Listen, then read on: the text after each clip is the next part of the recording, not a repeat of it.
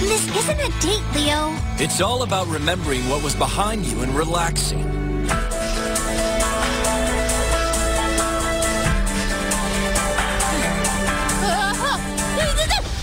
You have uh, skated before, right?